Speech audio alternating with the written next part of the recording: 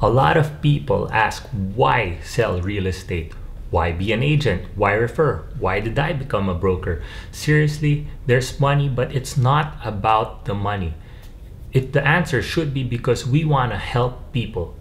We want to help people because there are a lot of people who need our help. They could need help when it comes to their residence, where the, if they need a place to stay or they're moving. It could be for their business, for their office setup, for their factory, for their storage, their warehouse, their poultry, their farm. There's a lot of reasons how why they could need our help.